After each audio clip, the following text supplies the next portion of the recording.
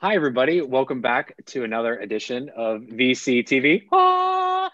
I am your host, Kyle Ellicott. We've got a fun and exciting episode for you today. If you don't know what the sound was in reference, you're going to find out in just a little bit. But with that being said, we're going to be talking about space and deep technologies. We're going to be looking to the stars and much further beyond, but looking at the deep technologies, those integrative, deep infrastructure technologies that are going to help us get there, but also are helping fuel our world down here on Earth today. I know this may sound like science fiction, but it's science fact. We are already in this process right now. We need to talk about it. There's huge opportunities and even more than you can ever imagine to start investing and building in each of these industries. And we brought two of the best, the brightest to talk just about this from the space side and from the deep tech side. Get ready. It's going to be a fun episode today here on VC TV. But before we get started, a big thank you for you tuning in. If you're liking what you hear today, make sure you click that subscribe button down there to tune into all episodes every day, all day.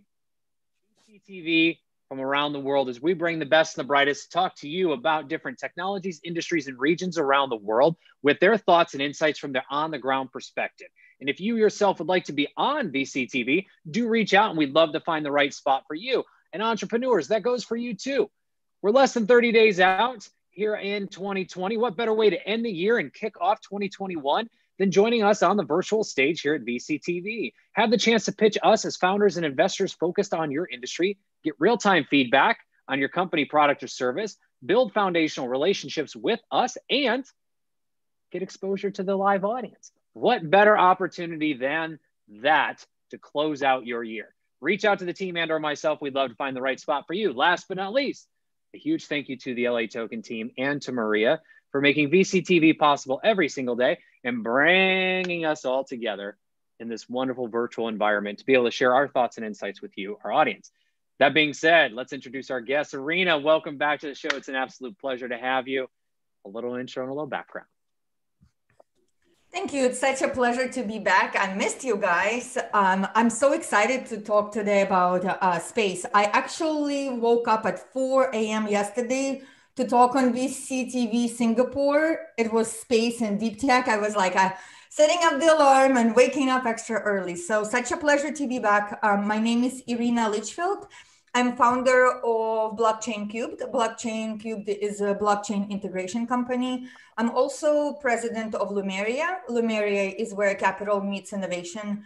Our goal is to democratize opportunities and democratize investments all over the world. Um, I'm also um, a senior advisor for Space Fund. And so this topic is very relevant to, to me. And Lumeria will be launching uh, first quarter next year with actually space companies as well. There's a lot of exciting stuff that's happening in space and in deep tech, and it's just such a pleasure to be back. It's awesome to have you as well. And you're right, there is so much happening. And speaking of Space Fund, we had Meagan Crawford, uh, one of the managing partners, a founding partners, pardon me, uh, on here. And her and I did an amazing one on one fireside conversation. So if you haven't listened to that audience, I highly recommend it, full of knowledge. Uh, and we also had Ifron on, who's also uh, an advisor to the fund as well recently to talk a little bit about what's happening in deep tech and uh, on the energy space. Uh, again, another mind blowing conversation. And today with Irina being here, I mean, this is just this is just setting the stage for a great conversation because she's right. There's so much here. But last but not least, we're also joined today by the Grand Master himself of artificial intelligence. Before before the show, he was flickering in and out. We weren't sure if he was really here or if he was a artificial uh, intelligence driven hologram. But, ladies and gentlemen, he is here to join us in the flesh. Gary Fowler, welcome back to the show, my friend. A little intro. Does that mean background. I have to say, ah? there you go. There you go. It's kind of a wow experience, if you know what I mean. So it's that great is, to be here. Is. My name's Gary Fowler, and uh, I'm a serial entrepreneur. I've Been 16 companies, I love artificial intelligence, quantum computing now, cybersecurity, space, deep tech. I mean, you name it. Any place where AI can be have a, a monument, make a monumental difference. So that's really where we are. So I'm the CEO and president of GSD Get Shit Done Venture Studios and also GSD Labs. So where we help companies uh, go global. Um, you know, I've been doing uh, technology companies for 30 years, done an IPO in NASDAQ, uh, we've had uh, one exit. I was on the original management team. ClickSoftware sold for 1.35 billion dollars, and also Yva, which is one of my companies that I started four years ago. Um, I also have health tech companies. I, quite a few companies actually. I just love technology. Country boy from Pennsylvania, and it's good to be here with the Yoda, with the grand Yoda of everything, Kyle, and my friend Irina. Thank you, thank you. Uh, it is uh, it is an honor. Not well. just the Yoda, the Grand Yoda. The Grand Yoda. I am a step. I I I, I don't feel worthy, but thank you very much for that. And that's uh, another. That's another movie. that's another movie. That's another episode of VCTV coming here just shortly for you afterwards later today. But um, I want to come back, Gary, in, in just a moment on quantum and security. However, before we do that, Irina, I want to I want to start off with space uh, you work and do a lot, actually, more than I think the audience knows around Space Fund and the industry as a whole. Um, right now, as we close out 2020, we just had an, an outstanding mission uh, completed by SpaceX, sending some individuals up to the International Space Station uh, for an extended journey. And we also just I, I saw on, on the on the Twitters on Twitter um, yesterday uh, pictures actually being sent back video footage of uh, on the ground um, from Curiosity, I believe it is, of um, the landscape of Mars. So we're starting to see this bridge moving into space, not just being something of, again, science fiction, but truly science fact. And now an industry that we all need to be paying attention to. From your view, what's happening in space in the industry as a whole today that some may not be aware of, but should be kept up to date on? Absolutely. It's so much excitement is happening. Actually, yesterday also China landed on the moon uh, to collect um, to collect samples or whatever they're doing there. I don't, you know, we, that's what they say they're doing there. Um, but to, to, to, clarify, it was they actually sent a, a, a rover yeah. if, if, I'm correct, right? right? I read the same. So, so just for the audience, and I'll put this in the notes here in just a moment. But no people, uh, no people landed, right? Yeah, there there was a a, a, a robot, a rover, we'll call it, uh, that landed on China on the moon, and then at the same time, we got this video footage um, from Mars uh, right. as well, and it's it's fascinating. But sorry, yeah, continue. It, no, no, no, not at all. What's important about that is that we're going back, right? So last time we were on the moon, it was the was the uh, entrepreneurs from Israel who uh, basically been were able to launch and crash into the moon uh, for a million dollars. It's just unbelievable. It just kind of communicates what what's possible, right? Because they use different service providers for launch and they through cargo they did that. Um, you, they didn't need a billion dollars to crash into the moon. They did it for a million bucks. And that's amazing for entrepreneurship. Um, a lot is happening in the space. Um, in last six months space industry is just exploding. So many so many companies are taking spotlights. And um, most importantly a lot of development is happening and a lot of launching is happening. Obviously, for the most part, when we think about kind of a commercial application for now, uh, shorter term, it's lower Earth orbit. So we call it LEO. So if you see a reference to LEO um, in the space news, that's basically what it is. It's a lower Earth orbit. Um, and that's kind of the big target that um, a lot of investors are concentrating on right now However, it is very still important to understand that we are experiencing race, race to the moon and race to the Mars. And it's different type of a race because it's not a political, it's commercial race this time, right? So, and the difference in that is so important. And the fact is that Chinese Chinese landed the rover yesterday communicates that things are going to get expedited even faster right? Uh, the reason it's important is because there's we know there's ice on the moon, so we can build hydrogen motors and go to the Mars. So I do think that the things that uh, Elon Musk says, as as wild as they sound, um, they are realistically cl- closer to us um, than they were before. Well, and to your point again, I mean, science, science fiction to science fact, right? Some of this stuff has just been so far out there that you know we could only imagine it. Uh, we couldn't actually see it uh, happen, right? We we visited the moon uh, on the ground once, and that was it, right? We we started to to tease out uh, exploration, but again, it was just a tease, and now we actually have this starting to happen on a more uh, regular basis. And I think one thing to to note uh, as well is this is not cheap, right? There is a huge cost to these missions. Now let's let's pause there. So real quick, coming back, the thing that uh, Irina you're mentioning and touching on so much is that there is movement happening, but throughout this, there are these little picks and shovels, these little pieces that everyone should be looking at and focusing on to start building because those don't need uh, a lot of capital, right? So uh, one of the uh, examples both you and Meagan have referenced previously on VCTV is, you know, in in space gas stations, and how there was a company, and I forgot their name, which you can you can uh, provide here in just a moment if if you remember as well, that they wanted to build these gas stations for for um, uh, fuel Different deployment in providers. Space. Yeah, and that they saw, well, hey, this is something we want to do in the future, but right now it's probably not the best uh, use of capital. So actually, let's start. And they found the idea of producing fuel capsules, if I'm correct. And then they found this enormous business for just the cap of fuel containers. It's just, it's crazy how much there is. But I want to pause on that for just a second. So, Gary, I'm coming down to you. So, we, we just went to the stars, coming back down. One of the big pieces of this puzzle that's not really talked about, or I should say, two AI, quantum. AI is helping us do a lot of this uh, activity, but quantum is probably going to be a big piece of this. What are you seeing in both of those areas that people need to be aware of today, whether it's related to the stars or again here on the ground? Because quantum, like space, is science has been science fiction and now is today science fact. Well, I AI, mean, look, Kyle, look at look at uh, you know Nikola Tesla when he was talking about uh, communications. He was he did his remote boat in remote boat in the late 1800s. He talked about uh, the fluorescent lights. I mean, I mean across the board. And so at the time, they I remember seeing cartoons from those eras. Uh, I was watching a documentary, and they had him as a mad scientist.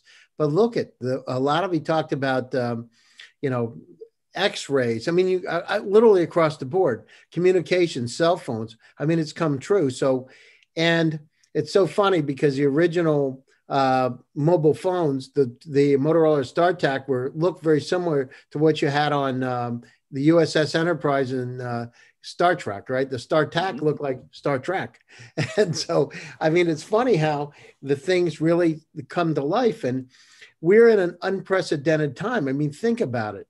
So our friend Christopher Altman, who's a NASA uh, astronaut, told me that there's 6 billion Earth like planets now just in the Milky Way galaxy and now estimated to be 200 trillion. And, and when you say Earth like, that means close enough to a star that they could have life because of the conditions, the seasons, et cetera. So, I mean, these are unprecedented times. And we look at, I mean, we're on, what, what did he tell me? He said, and it was interesting when you look down at the Earth, when the astronauts talk about when they come look at the earth, it's a religious experience because you understand how small we really are in the whole mm-hmm. scope of the universe.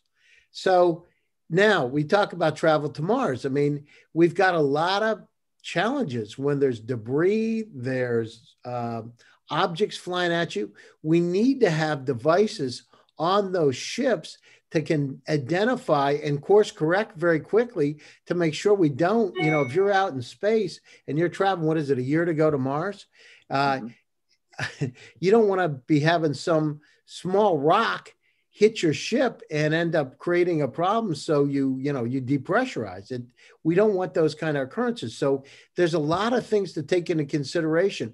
And it's all about the data right? All the data points the other thing is the European Space Agency has a, an intelligent assistant. So, I mean, loneliness on the ship to be able to talk to somebody, to be able to analyze what's happening with you, right? Like an intelligent, um, was it the Space Odyssey? Hal. It was Hal. yeah. So I was going to ask you, is it Hal or her or um, Uh, Her was the other movie with uh, Joaquin Phoenix. But uh, in any case, do you see a presence like that, an artificial presence that would be in in these scenarios? Yeah, I mean that's what they developed, right? So European Space Agency, that's what's happening now. This is not fiction, but you don't want to have a Skynet either. that, that is true. Hello, uh, see you later. hey, the door's closed. I hope you have fun. right. Roll the dice. See yeah. how you're gonna go. Good luck. Hasta la vista, baby. no, so what we got to do is we got to make sure. But these are the kind of challenges. I mean, I mean, to look at it by the year 2100, it's estimated. I mean, the population of the planet has quadrupled in the last 100 years, and if it stayed on track. Um, it, it's going to reduce will be estimated now 13 billion but we don't have enough potable water. We don't have enough land. We're destroying our uh, climate right with uh, the global warming. I mean look at it. I mean a lot of things are changing very very quickly. So we've got to look beyond the earth. And you know it's interesting to see how fast think about 200 years ago 100 years ago if we would have been talking about going to mars then I mean, it was just a pipe dream to go to the moon. They had like I remember seeing was a French uh, uh, movie uh, mogul had this space shot like of a bullet on um, the moon. I don't know if you saw it. Johnny Depp played the character in a in a um, a movie. Anyhow, it's just interesting how things have really uh, dramatically shifted. So the universe is up. I remember uh, again your friend Christopher Altman talking about being able to the teleportation of quantum particles is part of his research as a, a PhD quantum physicist. I mean, mm-hmm. traveling through wormholes. I mean, it's just it's just opening up. Ah, quantum. So mm-hmm. taking a, a system uh, that could process uh, at 100 million times faster than a conventional computer. Think about it. Something would take 10,000 years in a conventional computer could take 200 seconds on a quantum computer. That's a lot of stuff happening. Think about if you're doing drug modeling, think if you're trying to figure out trajectories, you know, it's just incredible. So how many advances are we going to have? I mean, it's it's virtually unlimited. So quantum computers like uh, you know, it's like what the Greeks talked about having an oracle, but for real. Right. I mean, what does this do, you know, Irina, to to your to your thinking as well? I mean, how does this change the game for us as we look towards the stars? I mean, furthering on Gary's point, uh, whether it be, you know, actually the propulsion to get us there, uh, whether it's on the station itself, so currently the International Space Station, or if it's getting us further beyond, because the computing processing power that Gary's talking about, as he's referenced in, in quantum, I mean, that does, that changes the game very dramatically. And again, science fiction to science fact uh, here, but would love to hear your thoughts as to how does quantum play a role as well from what you're seeing uh, as well on the space side? Absolutely. I think that all of the above, right? Because it allows us to really calculate complex modeling. And uh, complex modeling is something that just just like Gary said, uh, you know, wrapping wrapping our heads around the exponential growth that quantum computing allows us uh, to do is unbelievable. I think that we really are um, going to, and you know, people say quantum leap, and often it, but that's I think that's exactly what it is: the exponential growth that will become available for us for on so many different verticals is is huge. And for mm-hmm. space exploration that's very important. I do personally believe that um, we we are due to advancement in physics. Um, the way we travel right now and the way we learn we know how to the physics work is in my opinion is outdated. And there there are several projects that um, that are actually working on breaking through those boundaries right? Uh, for example one of them is quantum machines. Um, so it and it really is just looking at physics in a different way but we need the ability to model better. And so i think as the computing becomes faster we can then model a lot of uh, interesting things. Um, and I, I, want to go back to, to what Gary said about the uh, kind of emotional, about loneliness, right? Mm-hmm, and going mm-hmm. into space. And often people say that, um, well, you just send several people, right? Mm-hmm. And so then you eliminate the loneliness. But however, it's still it's still not enough. You really need, in order for us to push the frontiers of space, and that means going to the great unknown and going to that where you know a hundred years ago going to mars was something that was just a pipe dream just a fantasy. We still we still have so much boundary to push in that fantasy realm right? Like just because we're getting to the mars we can go so much further. But for us to be able to go further we really need to be able to create a healthy ecosystem where people can survive all the unknown factors, right? That includes isolation and complete dis unplug from your world as you know it. Right. And that's a that's a, a fascinating point. So you bringing up this world ecosystem, right? So right now we talk about getting from point A to point B, right? So from on the ground to the state to the International Space Station, as an example, right? Or from the, the station to a planet, being the the, the moon and or um, uh, Mars, et cetera. So we're just really talking about these point A to point Bs. But what you're talking about and, and bringing up is a great point of this entire ecosystem of everything that we need, not just for our survival, because as we've learned from from you before, space is always trying to kill you. So uh, we're not only just our general survival, but also to to have like what feels like a natural environment when we're in space, right? So again, the gas stations, the the general living stations, and all these other things as well. But um, Irina, to switch gears real quick, blockchain, our favorite subject here on mm-hmm. VCTV. Go blockchain! Ah! Um, there we go. Okay, we're three for three. Uh, maybe Maria will jump in and throw the throw the fourth one out for us uh, if we're lucky. But um, with that, how does blockchain play a role in space. I mean, we've got a few companies that are doing mining, right? That have sent uh, small uh, sats uh, satellites up into space to do uh, mining of of currencies. But realistically, I want to go beyond that and see yeah. how blockchain plays a bigger role in the future of space technologies. Um, for those that may be looking at this. Yeah, absolutely. Blockchain is very important. Um, I'll, I'll start kind of with that far out and away um, you know, when we think about the space exploration and we think about sending missions, one-way missions, um, to you know to send the ecosystem, that that immutable information is going to be very important, right? Uh, because the ability to not change and make sure that we engrave information um, is important for those type of emissions. Um, at least at least it would be important for us as we send them out, right? Um, so I think a blockchain as just an immutable ledger is very important on its own.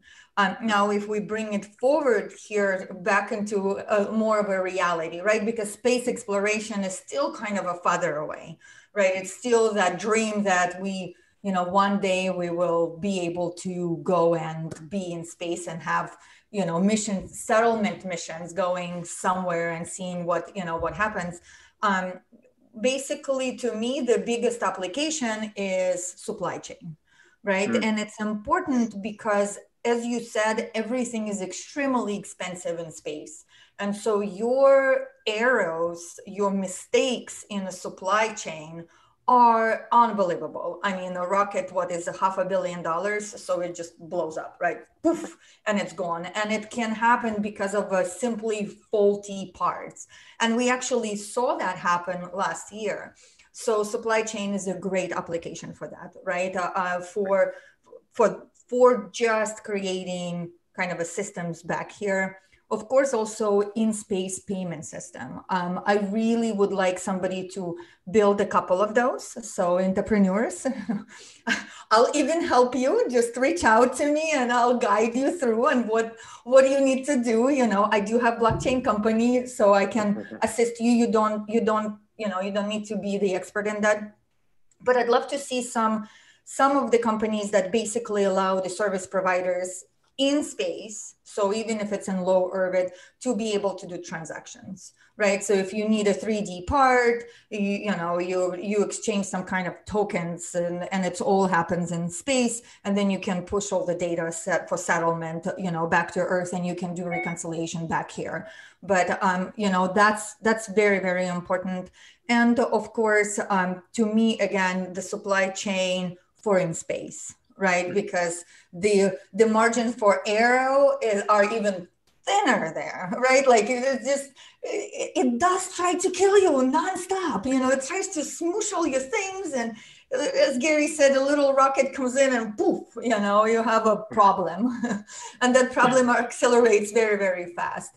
Um, you know, so so I see I see those two applications um, that are kind of a cover, and there's everything in between right? But blockchain and space industry are important. And I also think that that's again my personal opinion is that um, tokenization of assets is what we're going to see growing in 2021 and um, kind of a securities token and it is still a blockchain application i think we will see a lot of interesting securities token offerings for space companies. And by the way, Space Fund is first um, one of the first venture capital that are dedicated to space, right? And also their first ever uh, tokenized funds fund. So they're hybrid. You can you can either or do both. And so we are we, we really do believe that we are going to see that transition in securities and capital markets going onto the blockchain. And uh, space, I think, is going to be one of the bigger ones because it is most reliable asset, not asset class yet, uh, but we're working on being asset class. And so, because of that, tokenizing it makes it available globally, and that's what you need for for better liquidity. Because, as you said, everything is extremely expensive, right? You can have an A round company raising a hundred million dollars. Times are changing, and and uh, great points, uh, Irina. Gary, to you, cybersecurity. You mentioned this in the beginning. We've talked a little bit about this recently, but uh, when we look towards the stars, that's one area, but just in general, security. Security seems to always be the last thing people talk about when they're looking at building or investing in something. For you, um, the question here is, you know, where does cybersecurity play a role in space? One, and two, what's generally happening in the cybersecurity space that people may not be aware of that they need to be, as you also focus on AI and quantum, which are going to yeah, impact sure. the future of it.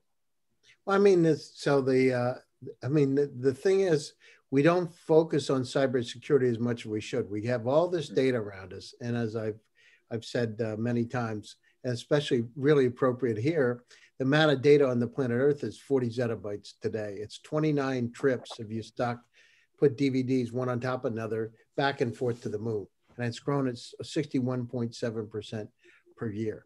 So massive amount of data around us.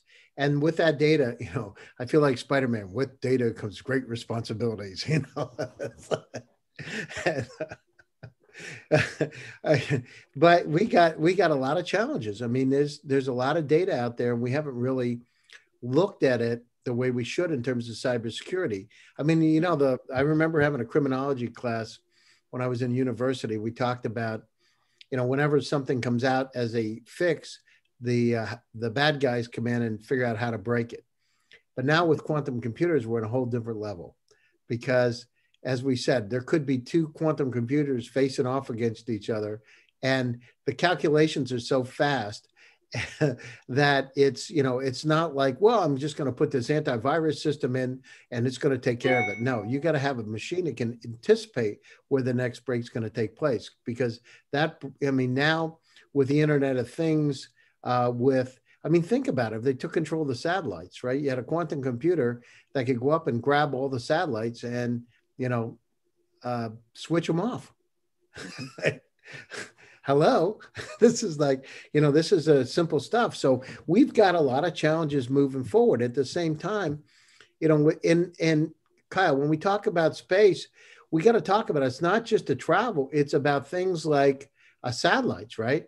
And think about the onboard satellite uh, systems that we have today currently in uh, that are looking at things like floods and volcanic eruptions, um, where to capture images. I don't know if you know, but I mean, from a satellite, you can literally see a dime from space. I, I, mean, people don't realize that you can actually read the date on a dime from space. They're that good. So, the you know we've got to go down through. And what about space debris? Think about mm-hmm. all the debris that's out there floating. How we track it and who's tracking it? We didn't think about it before. We put all this garbage out there, literally garbage, and what's happening with it. So we've got to go down through and understand and and I mean they're doing research today. AI is doing research and things like dark matter in space. Those kind of things are critically important for us. What about asteroids? I just read what two days ago. There's an unidentified ast- uh, unidentified object. I'm not saying a spaceship coming towards Earth. Well, I mean, there's a reason the dinosaurs aren't around. Hello, you know, so, I mean, we should be thinking about how to thwart those kind of things rather than, um, you know, uh, uh, it's creating wars with each other. It should be some kind of joint effort. We need to fix the planet and move forward, not to be and protect it, not to try to kill each other. And uh, you know who's going to win this battle? It's we got to go out there and work together. So we've got, you know, and now going to Mars. If we look at you know where we are in terms of the next you know the Mars rover edition. So the 2020 rover is going out. We've got to understand what we're going to be getting into in Mars exactly. Mm-hmm. Mm-hmm. And there's a lot of um, a lot of uh, not skepticism, but curiosity, shall we say, about mm-hmm. some of the things that they found already. Well, let's let's explore those. You know, was was Mars an Earth-like planet? Really? Right? Because they said they found some evidence of water on Mars. It's it's just it's fascinating. And anyhow, so AI is going to put, put a huge part on it. The last thing, again, with cybersecurity, what we don't want to do is have some hostile force taking control of a ship that's out with people on it going to Mars. Can you imagine how that would be? And hold them mm-hmm. hostage, right? Mm-hmm. So the issues need to be resolved. We better do it before it's a problem. Absolutely. And, and that being said, Irina and, and Gary, I'll come to both of you on this, but Irina, let's start with you. Opportunities. So we've talked a lot uh, about all these areas, and, and you talked a little bit about payments and space and, and a few other areas that, uh, that could be opportunities. But where should both investors and founders be focused on over the next three years? Okay, we're gonna we're gonna kind of bridge between what we've talked about previously. So over the next three years, what should uh, both sides of the table be looking at, whether to be deploying capital into or be building uh, as well uh, as these industries really start to take off. Because to both of your points, space is still in its early infancy in terms of coming to market, right? Where we're all starting to get into it. Quantum is its very, very, very early days, but blockchain and AI are starting to have their moments. So, with that all being said, all these areas and some of the other stuff we haven't talked about, where are some of those areas of opportunity, Irina, you see uh, that people should be paying attention to over the next three years? Yes, next three years, I think exactly this basically security, all the things that uh, Gary mentioned are real and they're real problems. And before we go in explore space, we must make sure we clean up the mess that we have made so far. There's a lot of um, space garbage, and actually, it's the sensors that we have right now, for example, are one mile away. One mile. So, like, once it gets closer to you, you don't know what the hell is going on right it's it's unbelievable that th- what is happening and now that's going to sound very scary for some people but i'm just going to go ahead and say it there's a space war going on right now and that space war going on uh, for different governments. And the cyber attacks people think cyber attacks are going to happen from hacking hacking whatever you know whatever systems you know the whatever the internet something. It really is the, the biggest attacks and biggest threats that we have right now are actually coming from taking down our satellites. And as gary said uh, taking them over. And um, it is one of the biggest issues that space force is concentrating on.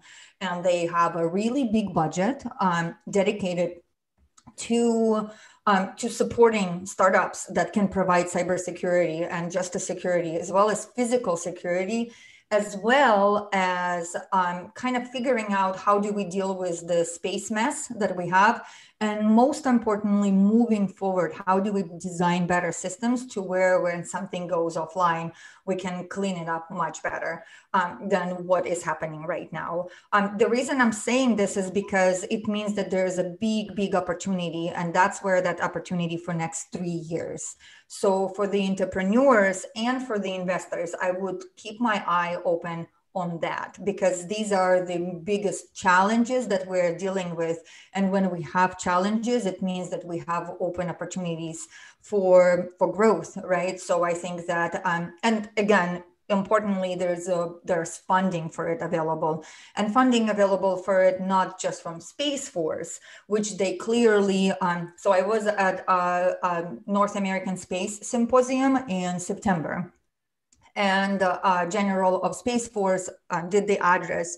And his biggest message was that they really are moving forward into new era um, where now basically entrepreneurs and solutions they're they're basically seeking out uh, solutions from free enterprise to come in and and create solutions for them because they do not have we just there's not enough talent internally and it can't be anymore recruiting into the space force right? Recruiting people to go to air force for example. So they're really wanting to bridge the to free enterprise and empower entrepreneurs and um, and give them kind of ability because because it's a big problem. It's one of the basically that's what i carried out from there is that we're really under big threat uh, right now. And that's where i would deploy funding right now. Besides you know besides all the things once once you already invested in that i would go and start diversifying portfolio in the gas station and maybe get a launch platform and you know kind of asteroid mining and keep pushing forward but for now we need to take care of leo. We have to take care of leo. And um, we are daily under threat of being able to just lose completely our internet right? Like what happens if it all goes down? And it's right. possible and it's it's real and it's now. So cybersecurity is number one opportunity right now. All right. Thank you irina. And gary to you same question. Over the next three years what should people be paying attention to on both sides of the table well, I mean, the thing is artificial intelligence, right? Because mm-hmm. we're going to need like this crew interactive module. I just sent an article over, by the way, Kyle, that I wrote yep, on. I got it. Space.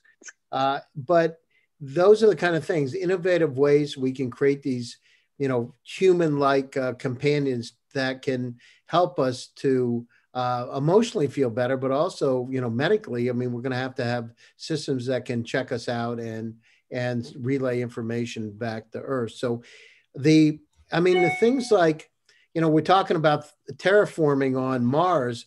I mean we're doing it. The companies i forget the name carbon i forget carbon e maybe but they're actually mm-hmm. terraforming on the earth. They're dropping like 100000 trees per day using drones. So these kind of technologies if we're going to live on these other planets but think about the innovations that came through just because of uh, going up to space. So velcro I don't know. Most people don't know Velcro was a Russian um, uh, invention that that was commercialized in the West, but came from uh, space shoots, right? So the actually Velcro. Look at all the. I mean, there's thousands of technologies that came out of space. So what we got to do is as we're going through, you know, how do how can we eat longer? How do we carry that food to space? How do we have uh, artificial intelligence to be able to help us with medical procedures. What happens if there's an accident in space? Yes, science uh, that astronauts are trained for two years and they have to learn emergency medical procedures. But I reading an article in the uh, India Times that said that you know we're not we're not we're, they're still not preferred. What about the unknown? So the good news is the technology is there. Um, today it's being developed on our artificial intelligence side to look at all that data, pull it in, to help the, us make better decisions. We've got challenges, as uh, Irina said, with cybersecurity. So anything around cybersecurity. Again, these are transportable models that can be used in different way. If we're cyber secure in space, we're cyber secure on, on the grid, right? So mm-hmm. it's not one place.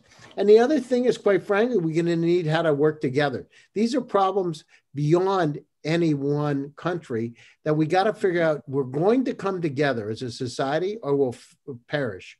We need to start working together to solve problems because when that asteroid does come, we better damn well be ready to be able to figure out how to be able to get it off course so it doesn't hit us. Because the last thing we want is that to happen. Figure, anticipate now, and use the technology to be able to help us, you know, make this world a little bit better place. Well, and you know, we'll have to call up uh, Bruce Willis and Ben Affleck and the whole uh, Armageddon crew um, to to help us out. All jokes aside, Superman.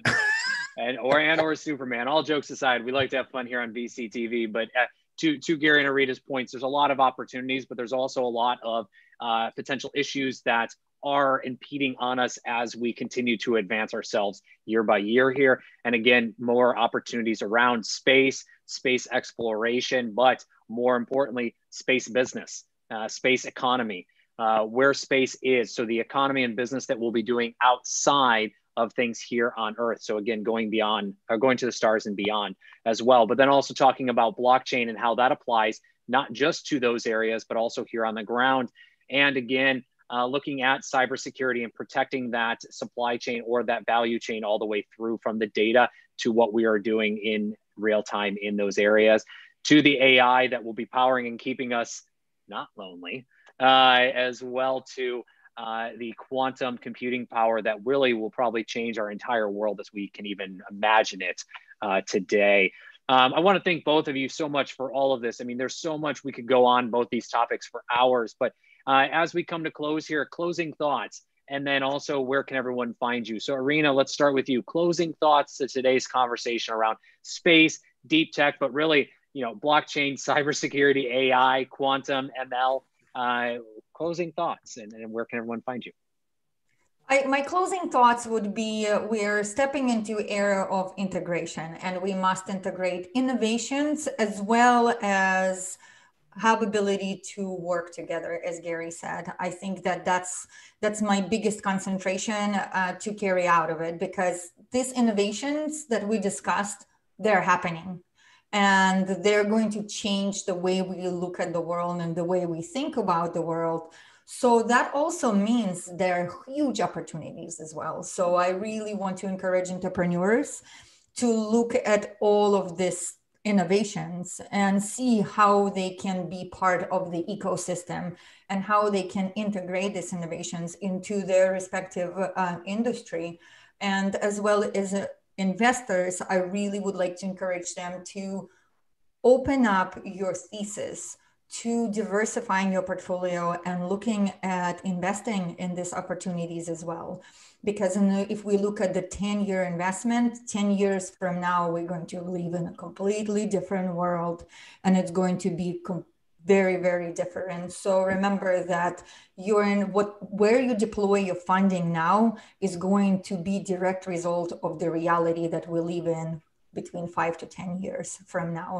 So think wisely and, and, and deploy, vote with your dollars and encourage, empower those entrepreneurs that are leading the way and that are integrating and whose values are in a way, built in a way to where they want to democratize opportunities and investments and connect our segregated worlds. Um, as Gary said, we either start working together or we you know we're living out our last days or years whatever it is. And um, find me on twitter or find me on linkedin. Just make sure that you uh, make the reference of you know where where you met me and what you uh, what you would like from me. And i'm always available and i'm always happy to connect. Wonderful. Thank you irina. Gary to you same thing. Closing thoughts and then where can everyone find you online? Yeah i mean so i remember as a kid kyle i, I got a telescope. I was probably 12 years old and I was real ha- and 11 years old. I'm sorry. I was really happy. I got it from Edmund Scientific, and I was able to see the moon. And I mean, I was just fascinated by it. I mean, think about it based on what uh, Christopher Altman said. If there are 200 trillion uh, uh, galaxies out there, and we got six billion Earth-like planets in ours, that's 1,200 trillion Earth-like planets. So are we alone? And I mean, those are the kind of questions we've been asking for a long time, but we're finally starting to, you know, we're at the very, very beginning steps of probing to figure out what's really out there. And at some point, we're going to need to look at other planets to be able to survive. So it's a great time. Uh, artificial intelligence across the board is a very, very interesting place to invest. So I encourage companies, we are data, data driven, and making better decisions with that data is critically important today.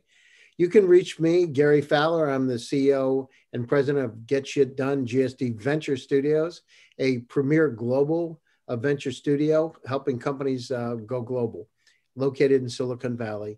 You can reach me on Twitter, Gary Fowler. You can reach me on LinkedIn or send me an email, gary at gsdvs.com. I'd be happy to talk to you and uh, tune into my shows. I have, uh, yesterday I had Bill Reichert uh, from Silicon Valley on Guy Kawasaki's partner, talking about going global. Uh, it's uh, free access for you. Check it out. Be happy to uh, talk to anybody. Thanks, Kyle. Wonderful. Thank you. Thank you again, both. Uh, and definitely highly recommend Gary's show and also check out some of the efforts Irina is putting together and has recently put together. She may be dripping out some new content uh, here shortly, but I'll, I'll save that for the next episode. Uh, with that, uh, again, thank you so much, audience, for tuning in. If you like what you heard, click subscribe, give us a thumbs up, do reach out if you'd like to be on a show like today's. Thank you, Irina to join Irina Gary, and some of our other guests to talk about different industries, regions, and technologies that are being used around the world. We'd love to have you here on VCTV. Entrepreneurs, less than 30 days. What better way to end the year and start the next than joining us here at the virtual stage on VCTV to pitch us as investors and founders focused on your industry to get real time feedback on your company, product, or service, build foundational relationships with each of us, and to get exposure to our entire live audience again, what better way to end and start the next year? Uh, do reach out to the team and or myself. We'd love to find the right spot for you. Last but not least, a big thank you to the LATOKEN team and to Maria for making VCTV possible every single day, all day in all regions around the world and all devices, bringing us all together to share our thoughts and insights with these different technologies, industries, and regions around the world with you. I'm your host, Kyle Ellicott. You can find me everywhere at Kyle Ellicott online 24 7. 365. Thank you, Gary. And again, make sure you add context when you reach out to myself, the team, and or all of our guests as well. And we'd love to continue the conversation. We'll be back here just a little bit more VCTV shortly.